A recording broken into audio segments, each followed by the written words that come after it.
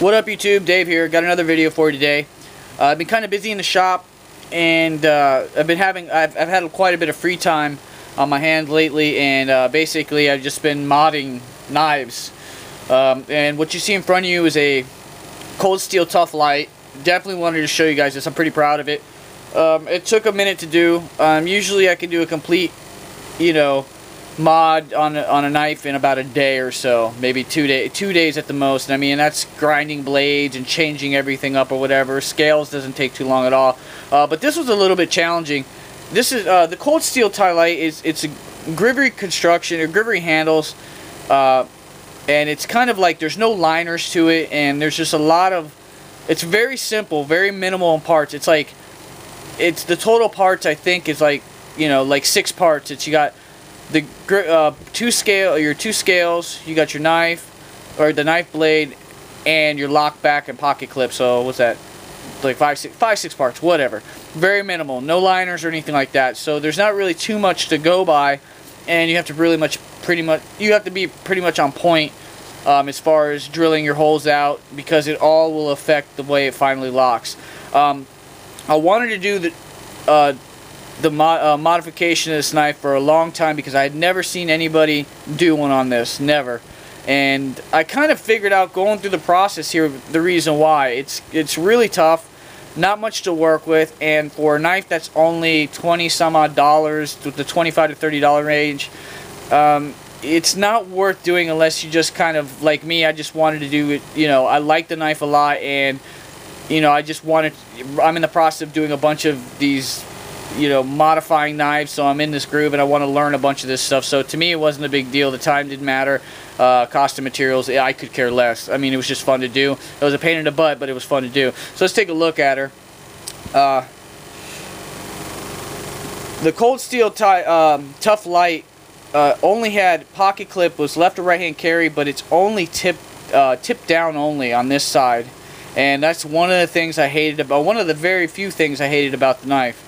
Um, that and the fact that it was Grivory, Grivory handles. I mean, those are the only two beefs I, the two beefs I had with this knife at all. Um, so I wanted to change that up.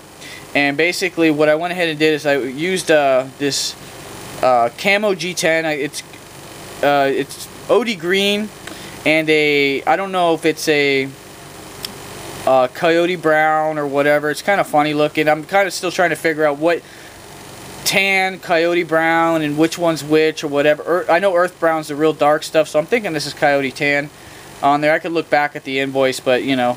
Uh, and basically what I did is a kind of what like a scribbles pattern on this. And you can really tell on this side that it kind of looks like the green's just scribbled on there. And it's kind of, you know, just in this section I left this little area alone and stuff and tried to make it um, original. And over here you can see there's a, I went ahead and this is been milled out with a pattern here because when you grab it, it just adds to the grip of your, the knife. You know, your fingers fit right there. And this, of course, is milled down to access the lockback or whatnot. So let's take a look at her.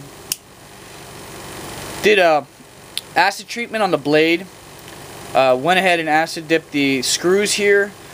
This, these two screws, like the pivot on this side and this, uh, the um, standoff up here had to be a different size so I can get this lock to go because uh, I changed that up too. And basically these screws were the coating on these screws are a lot more uh, resistance to the ferric acid than these screws are. So but uh, the backside of the pivot did well. And I, I think if I would have left it in there longer it would have turned uh, but I didn't want to sit there and leave it in overnight where, you know, it was just too long. I was just like, you know what, I'm just going to do it that way. And uh, to me, it doesn't matter. I, I don't think it looks too, bad at all. I actually think it looks kind of cool. Um, little scratch marks here on the uh, on the blade. That was initial fitting uh, and, and, some adjustments. Now that I got the adjustments on point, I had to taper back.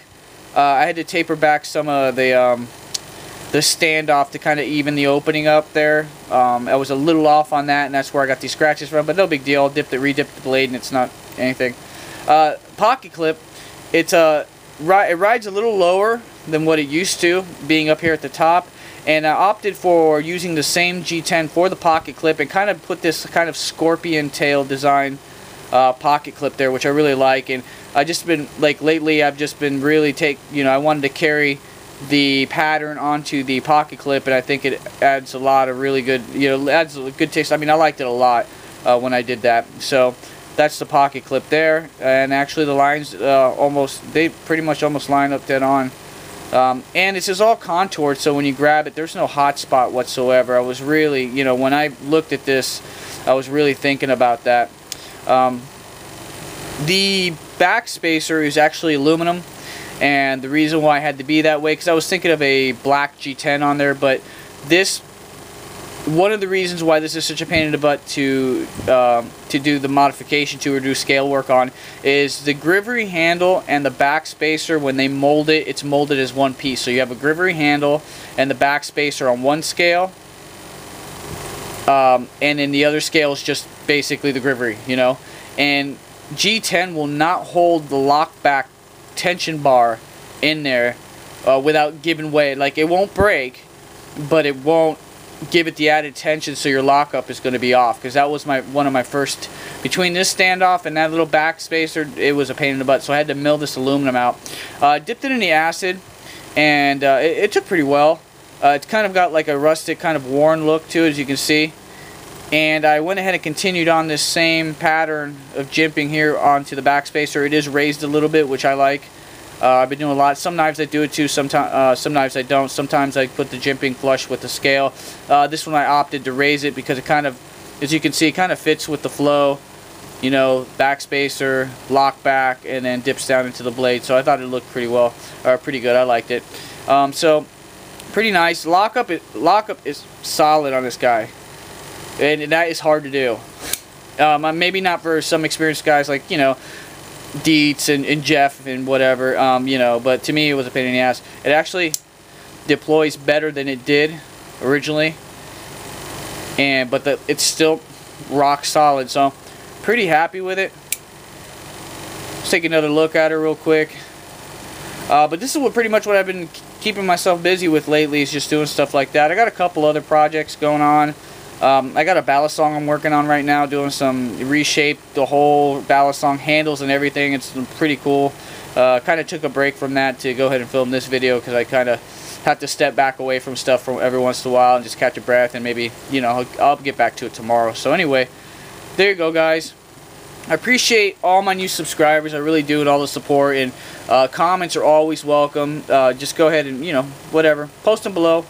Like, favorite, whatever do all that cool stuff. Um, as far as doing this work for other people, because I've had a, uh, a few people ask me if I would do modifications on their knives and whatnot, and right now, no. I mean, if the, if the situation, you know, I don't know, it depends on the situation or something. If you were going to, let's say, if you wanted something crazy done to a knife and you were willing, uh, you were like, well, listen, if you do, I'll give you this knife for the work and it was a knife that I was looking for, then yeah, maybe. But I'm not going to go ahead and do three or four knives because I simply, right now I have free time, but I don't know how it's going to be in the next couple weeks.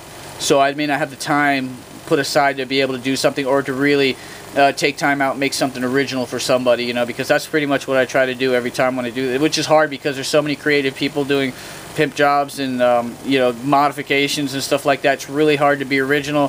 So I'm trying my best, learning my way. Um, not as good as I'd like to be, or some of the other guys that are out there, but you know I'm learning. But anyway, guys, like I said, thanks again for your support. Thanks for tuning in. Appreciate it. Peace.